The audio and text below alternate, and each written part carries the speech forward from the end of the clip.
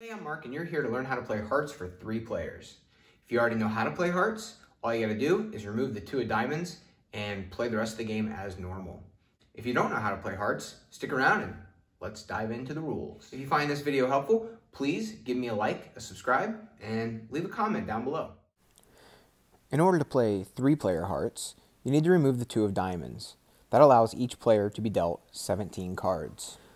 The object of the game is to be the player with the lowest score by the time one of the players has reached 100 points. To begin the hand, pick three cards you do not want and pass those cards to the player on the left. In the next hand, you will pass them to the right. And on the third hand, you will keep them. You will not pass any cards. You will follow that cycle throughout the entire game. Whoever has the two of clubs goes first. They must play that card. Now, every other player at the table must follow suit and lay a clubs if they can.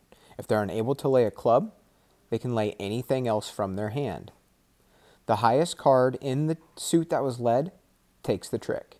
So the ace of clubs takes the trick. The player who takes the trick gets to lead next. You may not lead a heart until hearts have been broken. So this player chooses to lead with the king of spades. Now all the players at the table must play a spade if they can. If not, they can play any other card from their hand. The highest spade takes the trick. Now let's look at what happens when someone cannot follow suit. The four of spades has been led, but the next player does not have any spades. Now they can get rid of their hearts. This is called breaking hearts. The player was able to play a heart. So now hearts can be led. The next player plays a three of spades. The highest spade takes the trick because that's what was led. So the player who led the four takes the trick. They've also earned a point for that king of hearts. The queen of spades is not a heart. Even though it counts for points, it does not count as a heart. So the queen of spades can be led or played at any time during the game. Once all the cards have been played, it's time to tally up your scores.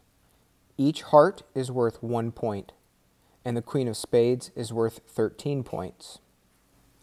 So in this example, the first player would have a score of 2, the next player would have a score of 6, and the third player would have a score of 18. Even though you're trying to avoid taking hearts in this game, there is a bonus for taking every single heart and the queen of spades. If you do this, it's called shooting the moon. You would score 0 points, and all of your opponents would get 26. All right, that's how to play hearts for three players. If you'd like to help support the channel, I've got a couple things down in the description that you might be interested in buying. They do lead you to Amazon and buying those items does help the channel. So thank you.